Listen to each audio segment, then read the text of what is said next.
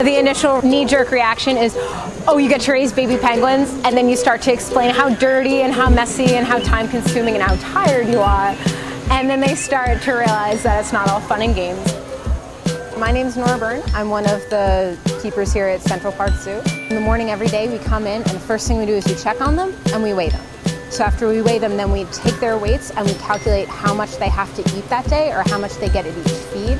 And every day is different because it comes down to the gram that they weigh.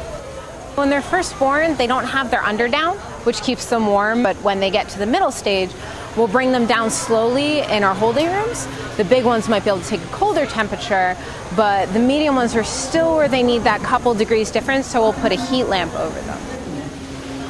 Basically, any foreign object that enters their box on a regular basis is food, or it provides food. So when something enters, they automatically assume that it is going to feed them or it is consumable.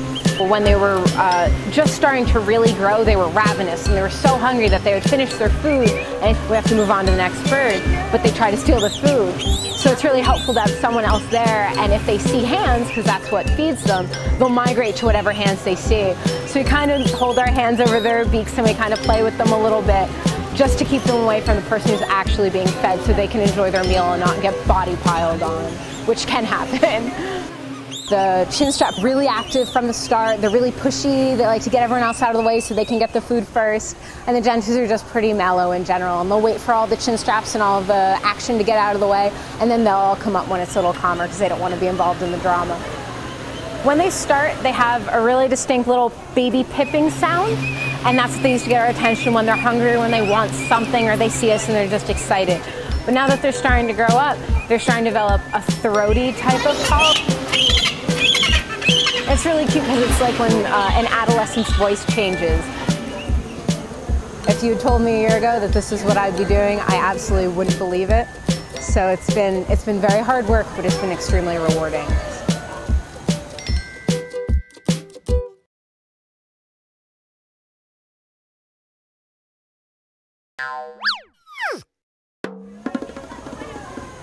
The initial knee-jerk reaction is, oh, you get to raise baby penguins, and then you start to explain how dirty and how messy and how time-consuming and how tired you are, and then they start to realize that it's not all fun and games.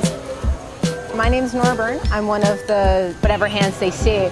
So we kind of hold our hands over their beaks and we kind of play with them a little bit just to keep them away from the person who's actually being fed so they can enjoy their meal and not get body piled on, which can happen.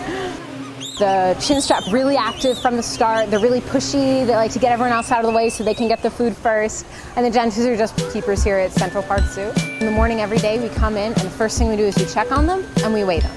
So after we weigh them, then we take their weights and we calculate how much they have to eat that day or how much they get at each feed.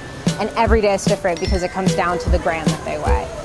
When they're first born, they don't have their under down, which keeps them warm, but when they get to the middle stage, we'll bring them down slowly in our holding rooms.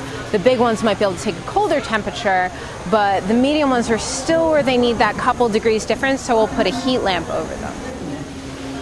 Basically, any foreign object that enters their box on a regular basis is food, or it provides food. So when something enters, they automatically assume that it is going to feed them or it is consumable. When they were uh, just starting to really grow, they were ravenous and they were so hungry that they would finish their food and we have to move on to the next bird, but they try to steal the food. So it's really helpful to have someone else there and if they see hands, because that's what feeds them, they'll migrate to